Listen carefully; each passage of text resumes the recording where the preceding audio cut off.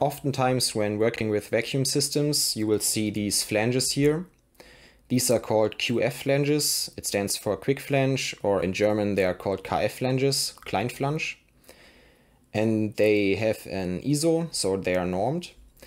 And what they use are these centering rings with an O-ring around it. You can get these centering rings out of different material, for example, PTFE, Teflon, and you can also get the O-rings made out of different material.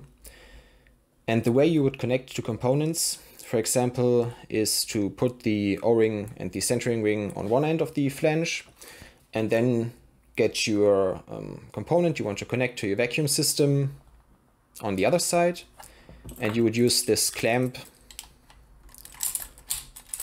and screw it tight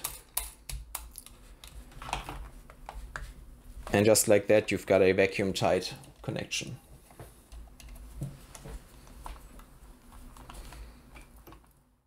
The way these flanges work is that you've got a tapered edge here on the inside of the clamp. It is not straight. And you've also got a chamfered edge on this side here. So whenever the clamp is screwed down, the components are pushed to the inside and if you've got an O-ring between the two components, as you can see, they do not fit there perfectly because of the chamfered edge. But if the clamp pushes down from the outside, both components get pressed together and seal against the O-ring. But there are cases where you want to connect your vacuum gauge directly to your glassware or for example, you want to connect your vacuum system directly to your glassware to avoid the outgassing of your vacuum hose. And for that, you would need a glass QF flange. And you can get them commercially, but they are pretty expensive. So I thought in this video, I would show you how to make one of these glass flanges yourself. This way you can connect your vacuum gauge directly to your system, or you can connect your vacuum system directly to your glassware, or these are also pretty handy. I don't know if you've seen my cesium distillation video, um, but there I was using a glass tube with a glass ground joint on the end, and I've epoxied it to a metal tube that was coming from my still. And the problem there is that you've got a different coefficient of expansion um, in the glass compared to the metal. So if you heat the joint up, it will most definitely crack or maybe leak. And if you use one of these, um, the O-ring between the two flanges can absorb the different expansion rates. And this is a great way to connect um, a glassware to a metal. As a small disclaimer, these glass flanges work great and they are vacuum tight and I haven't had any problems with them, but they are not um, the same uh, dimensions as this one. Sure, they are the same diameter, but as you can see, the glass flange does not have the tapered edge here, but it still works because the inside of the clamp has the tapered um, edge, so it will still get pressed in and seal against the O-ring, but of course it's not ideal. But in my opinion, they work great, but I wouldn't rely on them in really critical situations.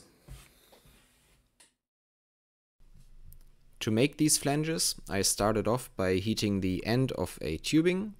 This tubing has a wall thickness of 1.8 millimeter and a diameter of 22 millimeters. To form the flange on the glass tubing, I'm using a 10 millimeter hex socket where I can press the glass tubing onto to create the lip that will make the flange. I'm also using a graphite plate where I can press the flange against to create a flat surface where the O-ring can seal to. On the right side you can see the centering ring that normally has the O-ring around it.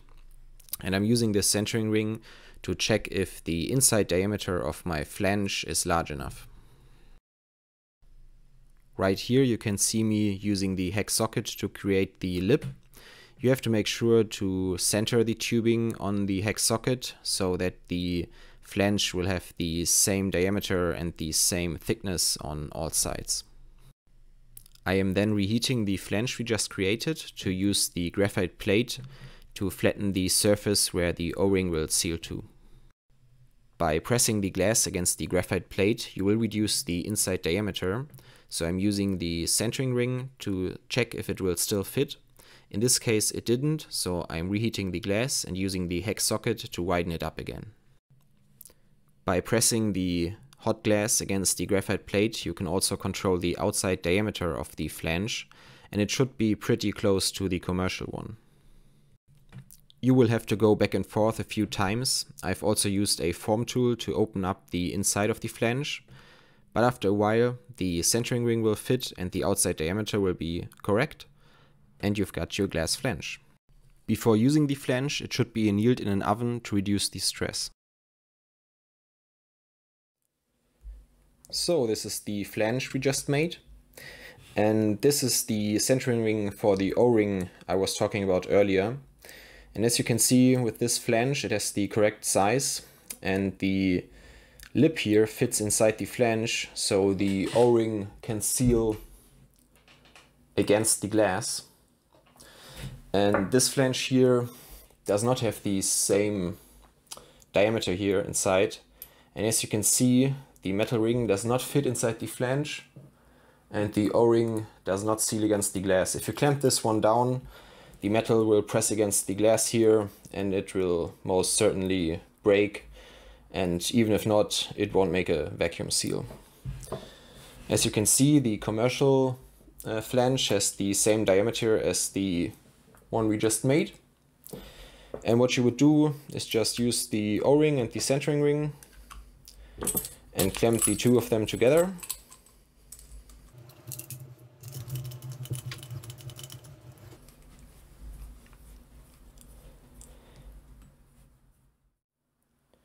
Let's test the flange on our vacuum pump to see if it's really vacuum tight. I'm just going to connect the flange to my input of my vacuum pump.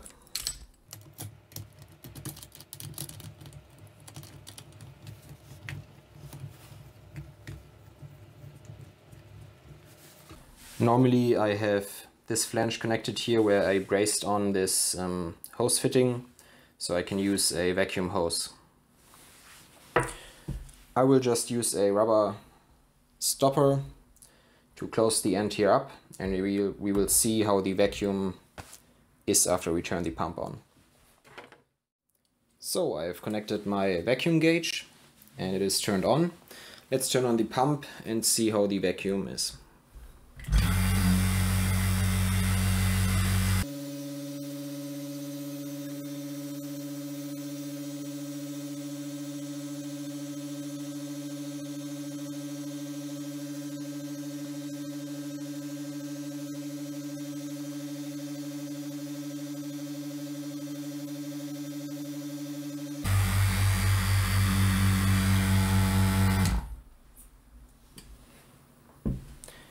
As you can see, the vacuum was exactly the same as if I've just closed up the flange here with a metal cap. So the flange and the connection between the glass and our stainless steel vacuum system is absolutely vacuum tight.